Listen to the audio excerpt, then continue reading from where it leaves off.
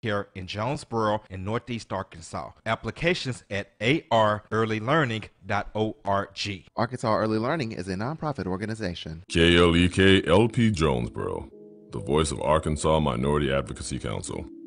It's now time for Community Conversations, a program focusing on the people working to make the Jonesboro community a better place while offering viewpoints from all sides of the issues.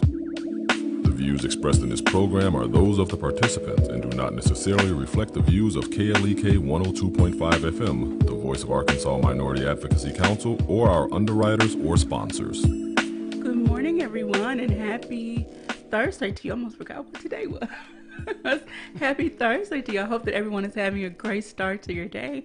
You're tuned in to Community Conversations with Qubilah Jones on KLEK 102.5 FM. And my very special guest today is Mr. Aaron J. Fisher. Good morning. Good morning. How are you? All right. How are you? I'm doing well. All right. So I've been knowing Aaron for several years, and ever since I've known him, he's been a musician of all sorts. Music uh, how can i say? Singer songwriter um, instrument player all that jazz. So today he's going to be talking about his new album uh, coming up called finding my strength. Um, now there's a couple singles he's going to be releasing soon. He's going to do a listening party but before we get into that first we want to get a some background information on mr aaron. Tell us who you are uh, my name is Aaron Fisher, originally from Memphis, Tennessee. Graduated Arkansas State in bachelor's in music composition. Uh, I guess that's about it. Okay. Um, I love the Lord. He heard my cry. Oh. you know how folks do. Anyway. Okay, it's gonna be one of kind of day. right. Starting the morning off right. All right. I want to say good morning to Dr. Sharice Jones Ranch and Bernard Cobbs for checking in. Thank you all.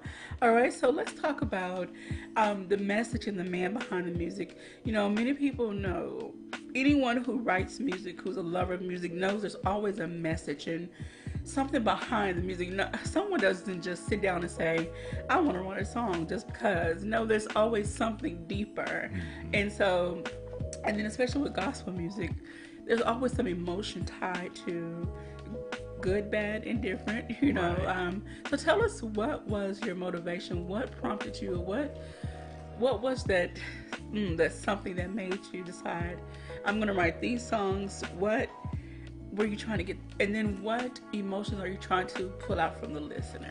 Uh, well finding my strength is basically to, to help people and i know people say that all the time as far as with gospel music we just want to help people come closer to christ but uh, uh, for one thing we have to start looking realistically about things. Okay. Uh, the the thing is is i've been like playing for different churches since i was actually 12 years old so I've been in the hour, I've seen the behind the scenes and actually been able to hear different testimonies and hear different aspects of church as far as how people feel, what makes things. And one thing I've seen is that people don't really as far as in this time now, people don't really like everybody has their own way to worship mm, okay. and their own way to praise God. So then what we get into is we get into all these tropes and all these traditions and this is the way that you're supposed to do this and this is the way that you're doing that. But uh, I know I had a conversation with one pastor probably a couple of weeks ago and I said tradition doesn't save people. And so what finding my strength is is trying to meet people where they are so they can feel comfortable in going back to God in their own way and telling them that God loves you wherever you are, not necessarily because you don't shout like this or because you don't worship like that. Because that's the uh, thing, especially in the world today. You got a lot of people who celebrated Independence Day yesterday, but mm-hmm. you got a lot of people who aren't free. Mm-hmm, okay. So that that's the whole thing with that is is finding your strength in in yourself and in God and just okay. being able to worship freely. And so for those out there listening who may have a misunderstanding, um, you know, it's not about turning away from religion or turning away from tradition altogether. Right. It's about incorporating something else having a spiritual connection mm-hmm. along with the religious traditions um, and making them connect and work for you mm-hmm. versus um, I can attest to if you only follow someone else's way of doing someone else's teaching or someone else's you guidance you will lose yourself along exactly. the way so you have to find your way for yourself according to God's word. And you know how you know how when you go to when you go to church and you go and you get saved and they're just like, okay, you can't do this, you can't do that, you can't. Well, that's not you trying to get the person to come to Christ because of love. That's out of fear. okay. But God is love. God isn't fear. Okay. So how in the world are you're supposed to transcribe that to okay, well God loves you. We see where you are. God sees where you are. This is what you do to get better. And I always say you can't sit up there and preach uh, conviction without correction. Okay. Amen. All right, so let's talk about some of the titles um, of the songs on the album. Um, one that I have listened to is called Worthy is the Lamb, and it is a really nice worship Now, first, before we get into this, can you please explain to some that may not know the difference between a praise and a worship song? A praise song is telling God thank you for what he's done, but a worship song is for who he is. Okay. So that's the thing is is God, if you never did anything for me because of who you are, that's a song too, Okay. amen. That I'll still worship. so that's what that is. Okay, so tell us more about Worthy is the Lamb. Uh, Worthy is the Lamb. Uh, I'm also here for a Gospel Songwriters Conference in Memphis, Tennessee, starting on Tuesday. Okay. Uh, this is my second year doing this, and they're actually the ones who gave me the opportunity, who helped uh, cultivate me to help me. And I'm supposed to be having a listening party on that Tuesday night. Okay. And I actually wrote this song, uh, "Worthy Is the Lamb," last year during the conference. Okay. Uh, and it was basically me seeing everything how everything was because you know how you have all this stuff planned and then you just like i'm gonna do this and i'm gonna do that and then don't nothing go the way that you thought it would Yeah, because God is laughing at you for you making plans. exactly so worthy is the lamb uh the the the first part of it is despite how i may feel about it despite everything that's around it uh, the lord my god is in control the thought of him just soothes my soul his will be done and mine be done with Wow. basically saying whatever happens god is still worthy even though this did not go the way that i thought it would god is still worthy so i should still worship him wholeheartedly for that Amen. All right. So now you mentioned the uh, Gospel Songwriters Conference. And I just want to let people know that not only are you working on your own projects, you take the gifts that God has given you and help other people that want to get into the same business. And it may not be about putting an album together, getting it published, and you know, uh, becoming a major artist. However, some people just might want to write. They might want to write for other people. They might want to write just to help soothe their. It might be therapy for them to write and sing, and it may never get published or heard by the masses. But however, you still take your gifts and talents and bless other people with them as well. So thank you for doing that. no no problem Um, I, I tried to because there are many people who don't. Well, a lot of us have gifts that we sit on. Um, we don't utilize them to their fullest, and you are taking the opportunity to give back to others what God has given to you. yes Okay, so let's talk about uh, some other titles on the album and what was the message. What is the message behind those songs? Well, you know, it is one song called The Message. Okay. Um, uh, and that song basically deals with um, all of the cliche terms that we use Oh wow. in church. And it's so funny because the the uh, first line of it is "Bless the Lord, oh my soul, and all that's within me." And you know how we use this so many times. The weeping may endure for a night, but joy comes in the morning. Yes, it's Bible, but what does that really mean to you? Okay. It's the thing. Uh, it's the same thing that you were saying as far as we use things that we've heard before, but what is our heart actually saying as an individual?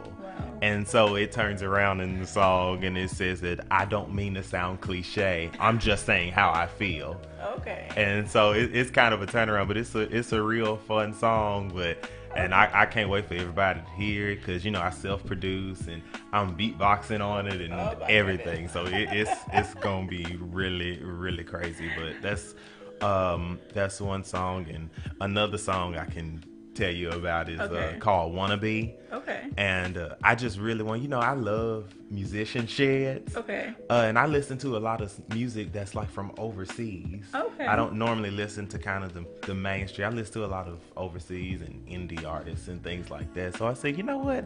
I want to do a song that kind of has a, a message of just wanting to be real with God. But at the same time, when you hear it, it'll be one of those songs for musicians to take to their shed and let me see what y'all can come up with this. Because Okay. even when I did it, I had to put that music degree to work when I wrote it. I was like, okay, I don't know how anybody gonna follow this, but all right. So yeah, that's that's wannabe, and uh, one more song is um is Beyond Redemption Oh, um, which is for people who feel like when you walk into church and there's so much judgment there, you're going into church because you're trying to get healed and trying to get comfort, but there's always this obstacle of the people, the people, because the people are looking at you a certain way. So it, it, it delves into those real topics of God, I'm trying to see you, but it's so many other folks heads who who in the way, who sitting there turning around looking at me crazy, like, do I really want to be here right now? wow.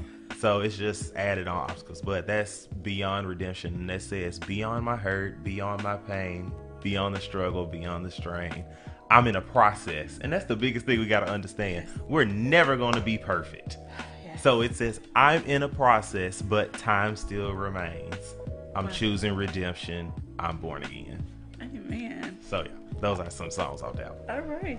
Well, we have some uh, Facebook comment from Mr. Steve Richardson. Good morning to you. He says, Good morning. What is the name of the album and where can it be found? The album is called Finding My Strength. And when will it be available for It'll be released at the end of August on all digital media outlets. All right, so we'll make sure, Mr. Steve, to let you know when the release, um, the actual release of the album is. Um, you can hear some songs. Uh, today is not Wednesday, but on Sundays and Wednesdays we do all day gospel. So we'll make sure to put uh, whatever songs Aaron, Mr. Aaron sends us Yes. Into the rotation. And if you hear a song, please reach out to him and let him know that you heard it. Um, give him some love. And want to also say good morning to Miss Melissa Jackson. Um, hey, Miss Jackson. Thank you for tuning in. All right, so I want to get back into the Gospel Writers Con- Gospel Songwriters Conference. Yes. So what can well, first of all, how can people say from here, Jonesboro, even though it's going to be in Memphis, that's only like less than an hour away. Right. Um, how can they sign up, register? What can they expect at the conference? Uh, you go to the the page. Well, I'll tell you about what goes on at the conference because I'm doing so much at the conference. um, I'm teaching three classes. Oh, wow. Uh, one of them is leadership and music ministry. Okay. Another one is for the youth. That's songwriting, where I don't tell them how to write songs, but I basically give them more tools for them to use. okay. Uh, and then I'm teaching a music transcription class. Okay. So those are the three things. But also, it's different. Um, it's different artists, different gospel artists coming from all over the nations. We have somebody from Seattle, then we got somebody from Pine Bluff, we got someone from Houston, Texas, that are coming in and they're teaching this choir of all of these people new songs for them to take back to their church. So you would go to the gospel songwriters page and you would just like it and go on that uh, website and that's how you register and it, it's really fun and the area where we're having it is is everywhere Is it on Facebook? yes it's on facebook Okay, so you go to the gospel songwriters conference community Okay, so I'll find that information. Yes. And want to um, put some more comments. Oh, Miss Melissa says, "Proud of you, Aaron." oh Um, thank you Catherine Spencer Hoover says, "Yes, Aaron, love you."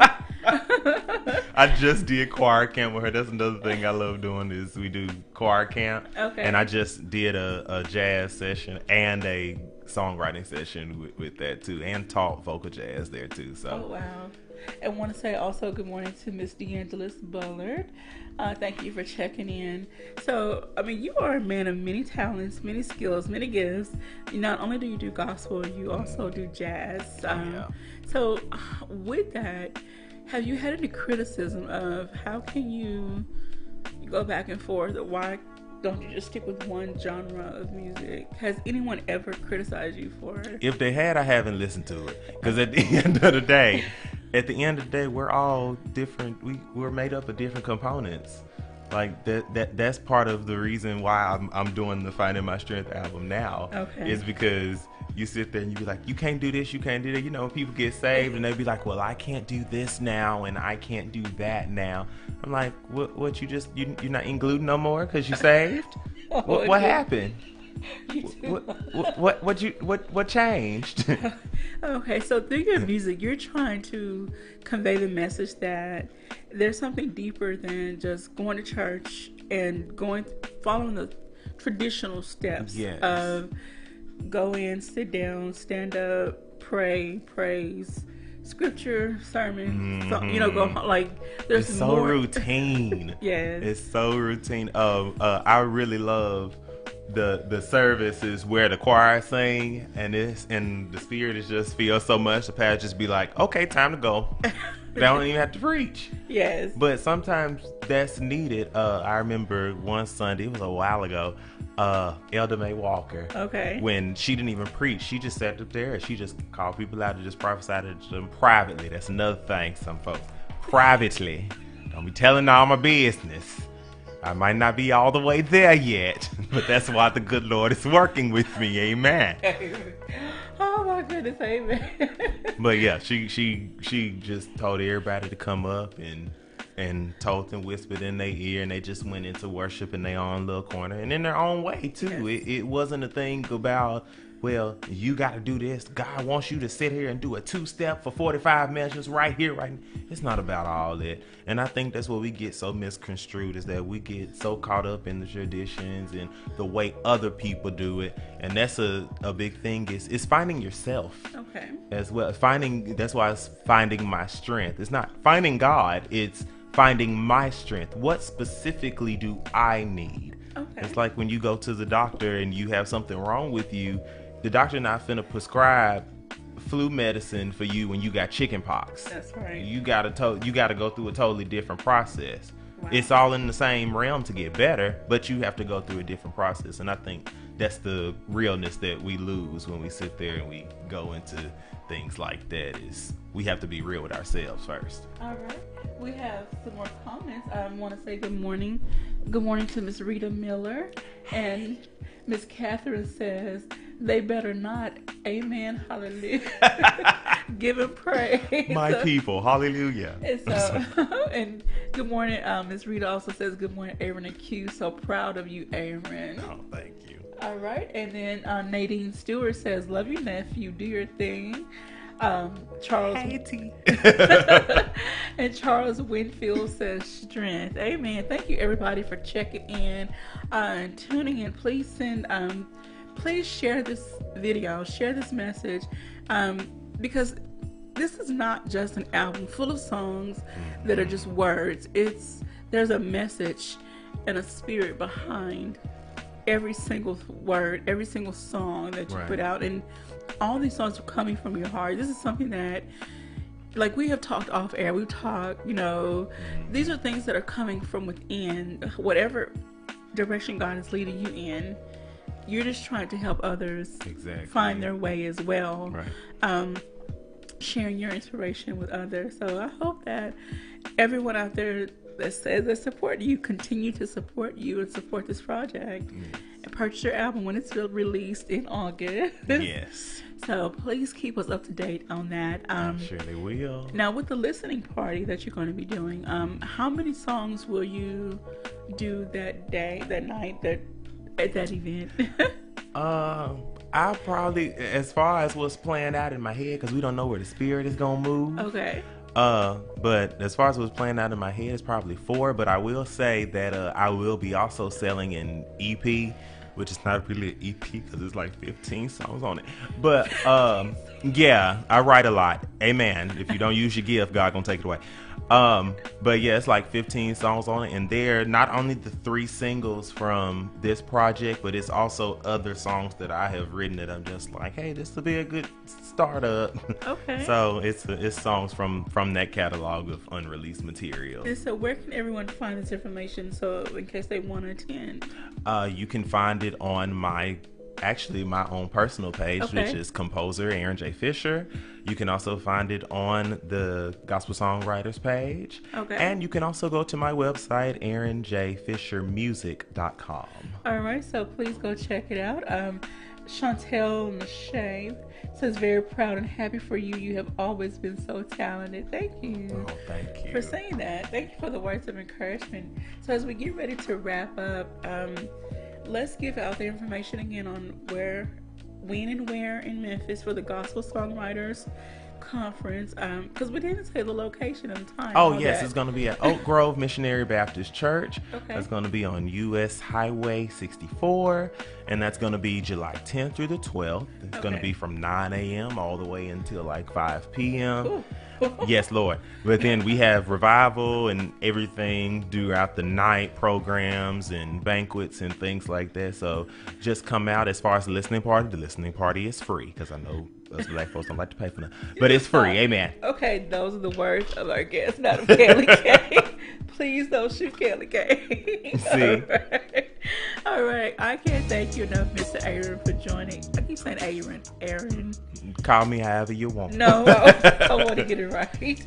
There was no IPA on my birth certificate, so Thank you so much for joining us Thank today you. and sharing your spirit and sharing your gifts with us. I Thank tried you. to get him to sing a little bit, but I, and you know, due to copyright and all that good stuff, Facebook will shut us down. So I'm sorry we can't play any of the music today. But again, check out KLEK on Sundays for Victory Praise Gospel all day Sunday and all Gospel Wednesdays from 5 a.m. till 6 p.m. So you'll be sure to hear some of Aaron's music play on one of those days. So Yes. Thank you so much again. thank you. I'm sitting here looking at myself on the camera and I can't find my hair, so that's gonna be my next CD, finding my hair. Oh my God. We're gonna do that too. Just cut it all Be off real. and go. See? nah, I'm gonna on the wig. Y'all ain't gonna know who I am. Oh Lord. Oh goodness. See, this is the kind of day. Okay. Anyway, but please go out and support Aaron. Um, his album is called Finding My Strength.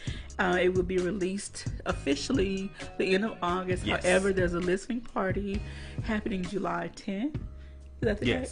July 10th. July 10th in Memphis. Um, go to his personal Facebook page, go to his website. You can find all the information, or go to the Gospel Songwriters Conference Facebook page Mm-hmm. if you would like to attend the conference. Um, is it open for all age groups? Yes, All age everybody. Okay. Small one, come on. So, would, but, but would people be organized or separated by their age, or maybe? Uh, yes, there are some things for the adults. There are some things for the youth and the children. So everybody, bring everybody. Bring your baby daddy, Okay. your baby mama.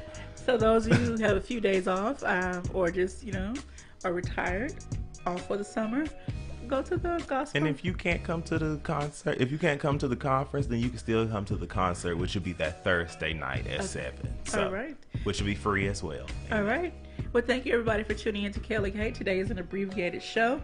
Please enjoy some mixes after the announcements. I hope everyone has a great day. And remember, it doesn't cost anything to be kind.